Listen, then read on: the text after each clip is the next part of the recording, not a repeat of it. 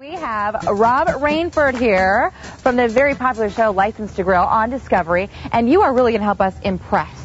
Yeah, a little bit. I Okay. think so. All right. Are we ready to go? Yeah, we're doing Excellent. Cornish game hen, game hen, right? Yes, we are. So we've got to do a full grill meal. Mm-hmm. So we've got a couple on the grill right now, but I'm going to show you how to marinate that quickly. Okay. And what I've got today is just a balsamic vinaigrette.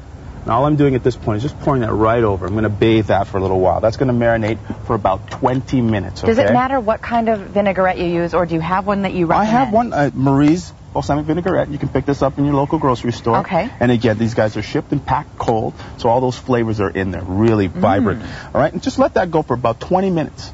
So what I've done because of time is that I've put two on the grill already. So they were marinated for a while.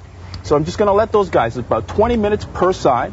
And then they're perfectly done, okay? So I'm using Marie's again, and this Okay. is a Caesar dressing. And all I'm doing at this point is just sort of painting that right on there. All right? So just get Mm. What, that this, right top. is this romaine, he- head of romaine? A head of romaine, all right. Split it in half. Split it in half. A little bit of Parmesan cheese on top. Do you use fresh parm? Oh yeah, always, always, always, always. But you can use that other stuff. It's not that bad. And now get that right onto the grill. Oh That's going to take about 20, 30 seconds.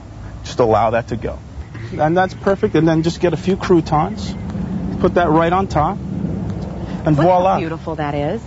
Voila. That is cool. Now, when when it comes to grilling romaine, because this is something different and new for a Yeah. lot of us, does that help to bring the flavor and make it pop a That's little bit? That's exactly what you're looking for. You're looking for vibrant flavors. So, I mean, we've got our Tyson Cornish hens, which are just packed with power. And again, protein. This is really good meal that you can have any summer day that you can think of. And it's always summer here, right? That's true. That's true. But this is just perfect. Talk to me about the presentation here. Just put it on some lettuces, a little rosa, some rosemary in here, some fresh basil, and just look how easy that is. A couple tomatoes around the plate, and voila, you've got yourself, uh, you know, something that's done simply, but given to anyone sort of in an elegant way.